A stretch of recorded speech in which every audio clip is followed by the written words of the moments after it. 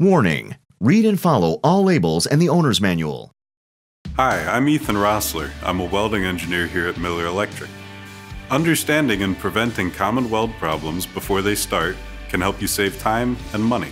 This video will cover 5 common MIG welding issues and provide tips to prevent them, so you can set yourself up for success.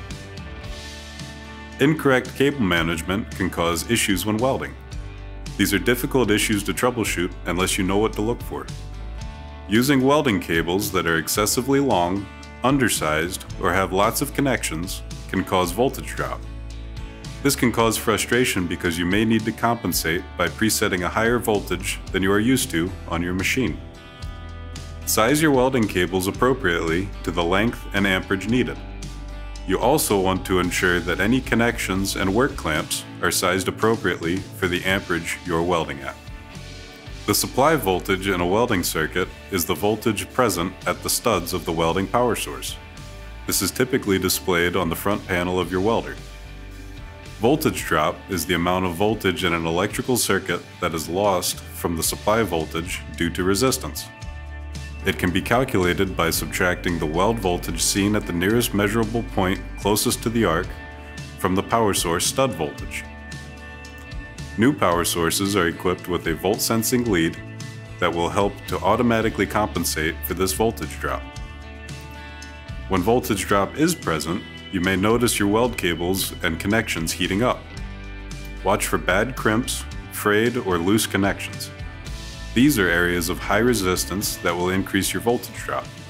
You may also notice poor arc characteristics like a tight arc length causing a stumbling arc with excessive spatter and poor arc starts. Your weld can appear too cold and may become worse as you're welding. This issue is common on construction sites and shipyards where long runs of cable are needed. Inductance is the resistance to change in the welding current. In a welding arc, current changes quickly and often. In some cases, inductance can be beneficial, since it can help soften the welding arc, reduce spatter, and increase bead fluidity. It is important to keep your weld cables as short as possible. Even when properly managed, long welding leads will have inductance. In many cases, people think they are doing the right thing by coiling up extra leads on a cable holder on a welding cart or on the floor next to the machine. However, this coiled welding cable becomes an inductor. This effect is worsened when steel cable reels are used. Keeping your lead straightened will provide the best arc performance. Too much inductance can cause problems like harsh, snappy arc starts, a stumbling unstable arc, and excessive bead fluidity. Shielding gas problems can result in porosity or poor quality welds. Numerous factors can affect shielding gas delivery and coverage of the weld. Shielding gas selection is the first step. Make sure that your shielding gas is correct for the material and mode of transfer you're welding on. For solid steel wire, 75% argon and 25% CO2 is commonly used for short circuit and can also be used with RMD. 90% argon and 10% CO2 is a very common shielding gas in manufacturing and can be used with all modes of transfer on solid steel wire. Using the correct flow rate is important, but finding it can be a challenge at times. Hobart's datasheets will specify what type of shielding gas to use and a range of flow rates for the wire. A common range for welding steel is 30 to 40 cubic feet per hour. Typically, your flow rate can be set lower for CV short circuit or RMD when smaller nozzles are used. When welding with CV spray and pulse spray, larger nozzles and higher flow rates are used.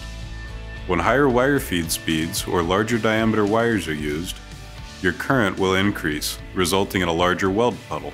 In these scenarios, larger nozzles may be necessary to provide proper shielding. If you are still experiencing issues with your welds, even when your flow rate is set properly, be sure to check and clean any spatter buildup in your nozzle. The O-rings on the power pin are a commonly overlooked service item on a MIG gun. O-rings that are cracked, torn, or worn can allow gas to escape and deliver less shielding gas to the nozzle. Also, make sure that the power pin is fully seated in the drive casting. This will ensure that the shielding gas ports are aligned properly. The welding gun's main jobs are to deliver wire, welding power, and gas to the welding arc. If any of those three items are interrupted, problems can arise. Bird's nesting and arc length fluctuations are common symptoms of feeding issues in a MIG gun. It is recommended that liners be cut slightly long, then trimmed slowly to fit. This will maintain pressure of the liner into the back of the diffuser. If the liner is too short, a gap can be created, causing shavings or erratic feeding. Using the proper size liner for your diameter of wire is also important. Liners too small or too large can cause bird's nesting. These issues can also be caused by dirty or clogged liners. There are lots of sources of debris that can become clogged in your liner. Metal shavings are a common issue. This is typically seen when the incorrect style of drive rolls or incorrect size of inlet and intermediate guides are used. As part of a preventative maintenance schedule, it is a good idea to use compressed air to blow out any dirt and shavings that accumulate in and around the drive rolls. The contact tip is a small part of the welding circuit, but it is very important to keep in mind. Inside the contact tip is where the welding current is transferred to the wire. Worn or dirty contact tips can cause chattering during welding. This is a vibration that you can feel in the gun handle. As wear progresses, an inconsistent arc length can be seen and eventually cause a burnback. A few tips to prevent contact tip issues during welding are using the correctly sized contact tip for the job. Too small of a tip may cause drag of the wire, and too large of a tip may cause issues with passing the current to the wire. Always keep an appropriate wire stick out while welding. Heat from the welding arc is hard on consumables and can cause spatter around the contact tip.